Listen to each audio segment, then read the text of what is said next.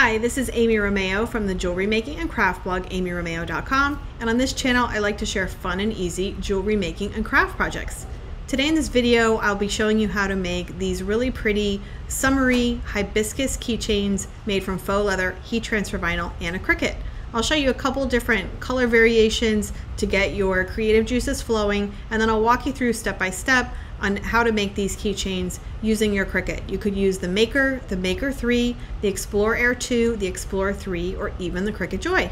So if you're ready to learn how to make these hibiscus keychains, let's go ahead and get started. So let's go over the tools and materials I'm going to be using while I'm making this hibiscus keychain using faux leather and heat transfer vinyl. So this is a really simple design. It's actually a really good beginner faux leather keychain project because it only has three layers. The bottom, this darker pink is faux leather, and then the lighter pink and the yellow, those are both heat transfer vinyl.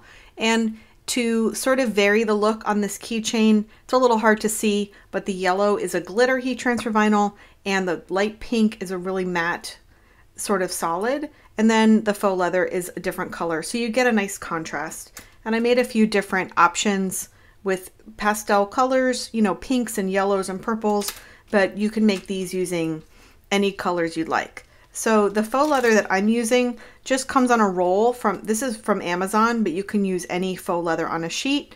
I'll leave links to some of my favorite faux leathers for you in the description.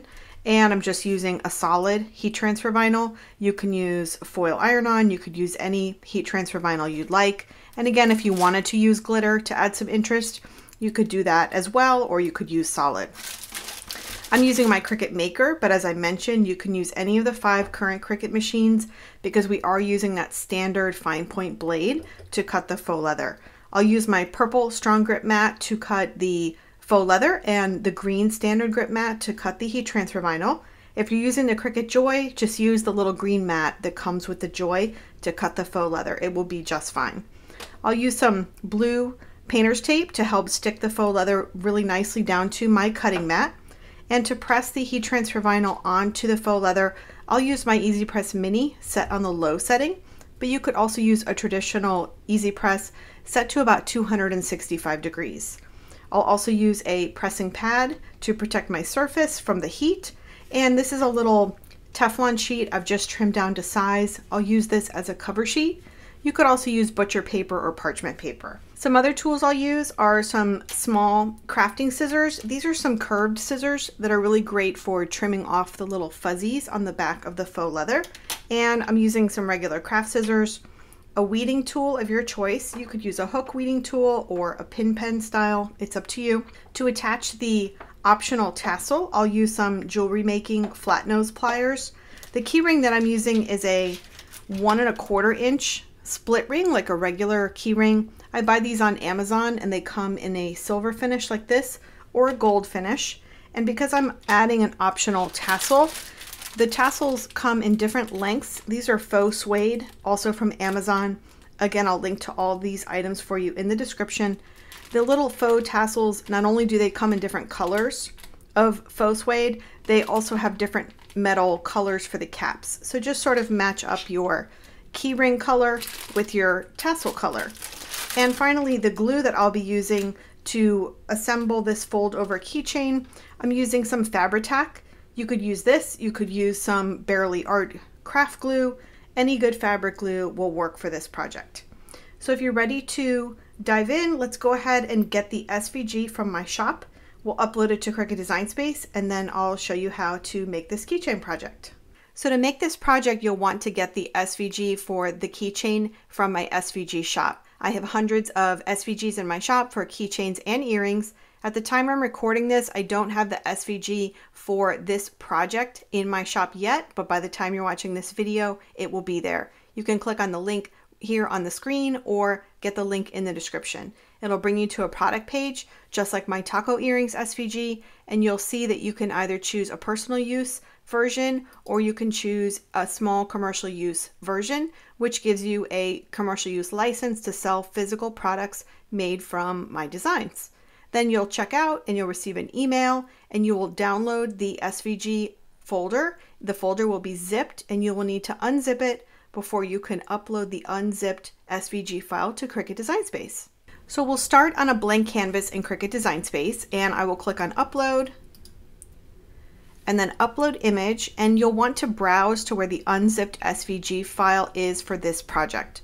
You'll click on it to select it and that will bring it here into your recent uploads row. I already have it here uploaded so I will click on it to select it and then click add to canvas. And as I mentioned, this is a simple three layer project and you can see all three layers here. Keep in mind the colors on the screen, they're just colors that are suggestions. You can absolutely cut these layers from whatever faux leather or heat transfer vinyl you'd like. If you are cutting this on the Cricut Joy, you may need to size this down just a little bit so that it fits on that Joy size mat. And the way to do that is to just make sure all of your layers are selected and you can drag this little arrow here, drag it up a little smaller. And if you make sure that instead of this saying maker, if you're using the Joy, this will say Joy. And when you click Make It, you'll see the preview on the Joy size mat. And you just want to keep reducing this until you see that this project fits on the little green Joy mat. So let me undo that, get it back to the original size, and I'm going to go ahead and click the Make It button. I'm cutting the material on a mat. And here we'll see our three mats separated out in Design Space. So the first thing that I want to do is go ahead and click on each mat and then toggle that mirror button on. And that's because faux leather and heat transfer vinyl both cut in reverse. They cut face down on the mat. If you were using permanent vinyl to make this project, then the only mat you would mirror is the bottom one, the faux leather mat, because that will still cut in reverse. And the other vinyl mats, if you're using permanent vinyl, they don't cut in reverse, so those you would not mirror. I hope that makes sense. I'm using heat transfer vinyl and faux leather, so I've mirrored every mat. And now what I want to do is just go through and drag each of my shapes just away from the edges a little bit and away from each other. So just sort of dragging them apart, clicking on each one, just giving them a little bit of space. Now I'll click back on the faux leather mat because that is the mat that I will cut first and I'll click continue. So the material that I use to cut faux leather is called faux leather paper thin and I have it bookmarked sort of saved here as a favorite setting of mine. If you don't have this setting as a favorite or if you haven't used it before, you can click on browse all materials and search for it. I have it here. If you're using the Explore Air 2, you'll need to turn your dial to custom before you can search for this setting and find it. But I have it here, so I'll go ahead and click on it to select it. And then from the pressure drop-down menu, I always choose more as my pressure. Then when I return to Design Space to cut these two vinyl mats, I'll cut them using the recommended setting depending on the type of vinyl. So I will be cutting the yellow mat from glitter vinyl, so I will use the glitter vinyl setting with default pressure. And this one I'll be using regular vinyl, so I will use either the vinyl setting or the washi sheet setting. But we'll go ahead and start with the faux leather mat. Let's click, click back to my overhead camera and we'll start cutting out our mats and then I'll show you how to assemble the keychain. So the first mat I'm going to cut is the faux leather mat and this faux leather happens to be on a roll. I saw in Design Space where my shape was positioned on the mat that I need a piece of faux leather about three and a half inches wide and about seven inches tall to completely cut out the hibiscus keychain shape. So if you're using a sheet, you'll just do the same process. I like to trim my faux leather down to a smaller size rather than putting a big piece of faux leather down on the mat. And that's one of the ways that helps you get really nice cuts with your Cricut.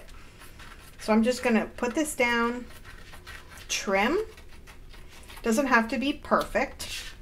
And I know this is longer than seven, but I know that my cut will end about here and then I'll be able to just save this little scrap for earrings or some other very small project. So I've got this ready to go. And now I'm going to use my blue painter's tape and just tape this material down on all sides.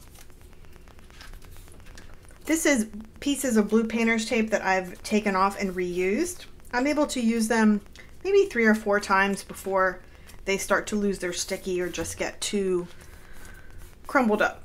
So I've got my faux leather taped down, pretty side down. We have our faux leather paper thin setting ready to go in Design Space. So I'll just go ahead and load the mat and begin the cut.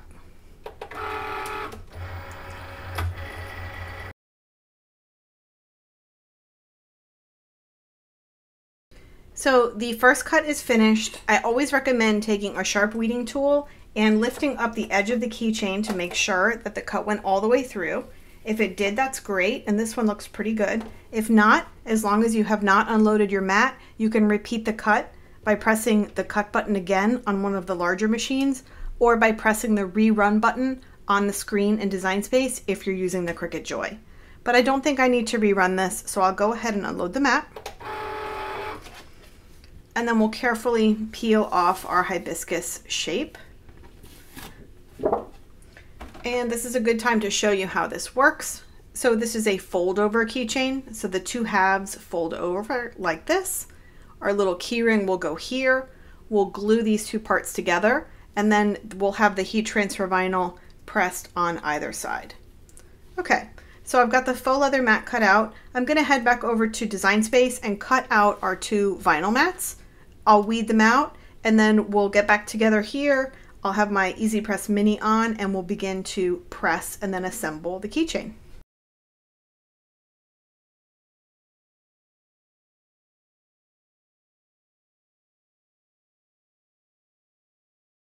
So the vinyl mats have finished cutting.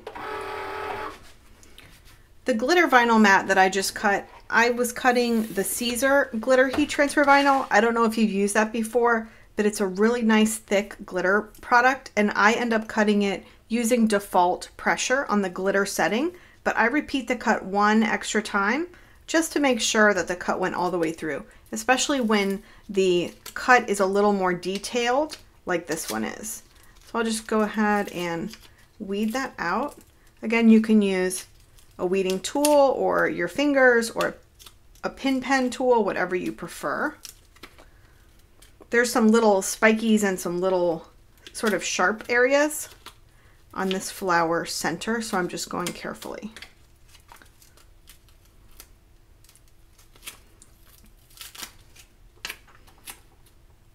There we go. I hope you can see how pretty that glitter is. It's really sparkly. So I'm ready to press. I've got my Easy Press Mini set on the low setting, which is just that first green line. I have my heat pressing pad ready to go, my little cover sheet, and I'm going to first use my scissors and trim apart the vinyl layers so they're ready to press. So I mentioned earlier there were two steps to assembling this keychain. One involves gluing the keychain together and the other involves pressing the vinyl onto the faux leather. We are going to press the vinyl first and then we are going to glue. And that's because if we glue first and then we press with heat, it can cause the glue underneath to bubble and distort the shape of our faux leather, which we don't want. So we're going to press first and then glue. So the first thing I'm going to do is take my little layer here and try and match it up. There's a, a smaller sort of area that juts out and that's where this little part sticks up. So you want to place it down I left an even border all around the vinyl layer. It sort of creates an outline you could see here. So just make sure that your outline is nice and even. Then we'll just use our little cover sheet, cover, and then we'll press using the Easy Press Mini. I'll press for about 10 seconds. If you're using a regular Easy Press, you don't need to move it like I am with the iron. You can just set it down. After about 10 seconds, I will try to carefully peel away the cover sheet.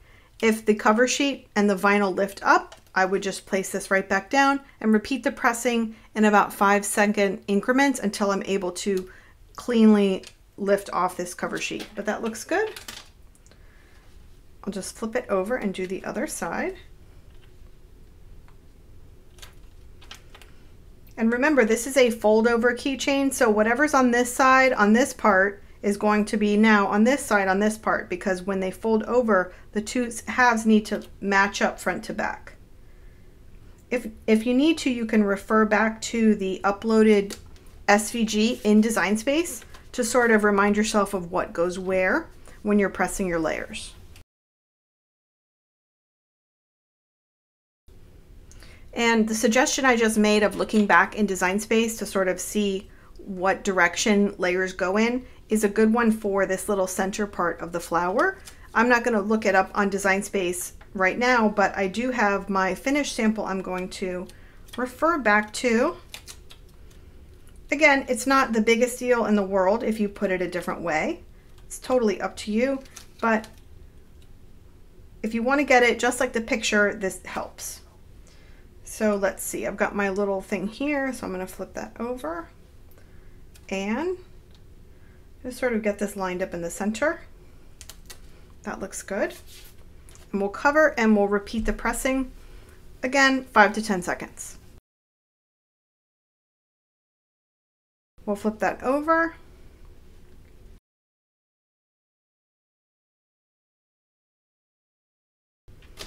So once we've pressed both sides, this is starting to curl a little bit. I don't know if you can see that.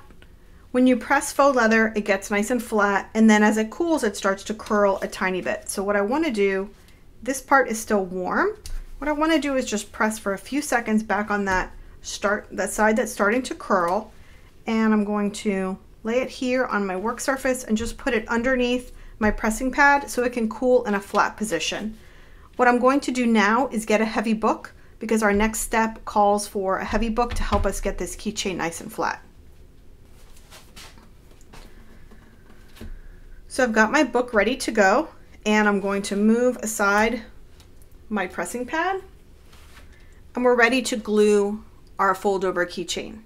So the first thing I'm going to do is flip it over and I want to put the keyring on now so that I'm not struggling with it later. Faux leather is pretty durable, but I don't want to be rubbing a split ring keyring on this little bridge part here of the faux leather. So if I do it now, I don't have to worry about it later all you have to do is sort of fold the flower into a little bit of a tube and then you can slide it onto the keyring. So I'm going to place it down here and I'll be using the Fabri-Tac. You can use any good fabric glue or the Bearly Art glue is really nice. I recommend a glue like this over something like E6000. E6000 is thicker and it's not going to be as flat when you glue it on and then press this keychain closed. We want to get a really nice flat press so our keychain will be thin and sort of seamless on the edges. So I'm just pressing glue. I'm applying glue all over the back of just one side of the keychain, only this side, and I'm avoiding the bridge part altogether. We don't want to get any glue on that.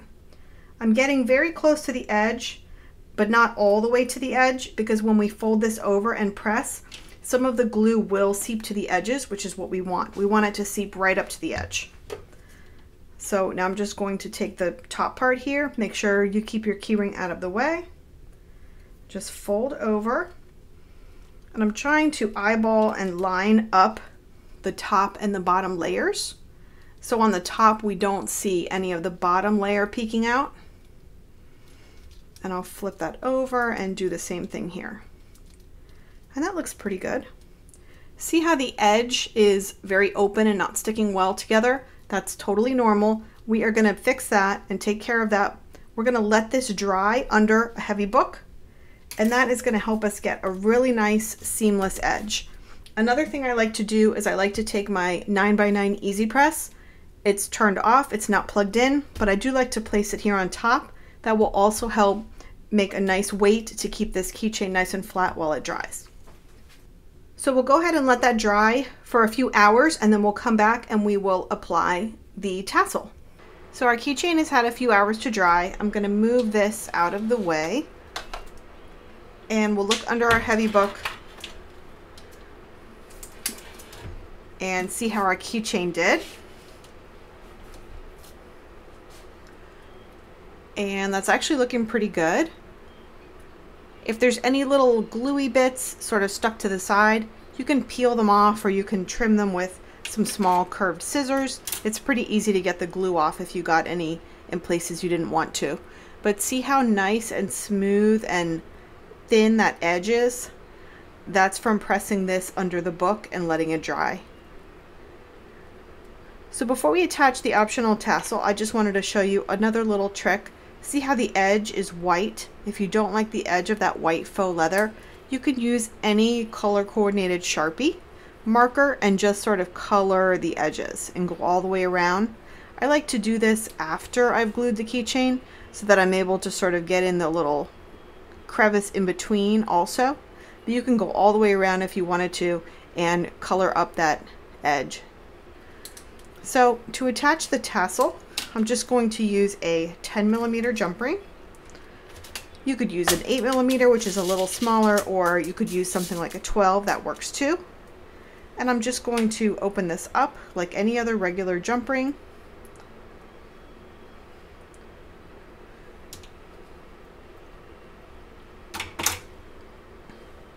Just opening that up and then I'll attach my tassel and attach it to the keyring and close the jump ring right back up. And there we go. The hibiscus keychain is complete. I hope you like this project and you're going to make some hibiscus keychains yourself. Let me know in the comments what colors you're going to use. I use some pinks and some purples, but there's so many pretty hibiscus colors. I'd love to know what you have in mind for your keychain. If you like this project, I have so many more great faux leather keychain tutorials using a Cricut. If you just keep watching, the playlist will begin and you'll be on to your next keychain tutorial. Don't forget to subscribe to my channel and hit that bell notification and then you'll be notified every time I post a new tutorial video. Thanks so much for watching and I'll see you in the next video.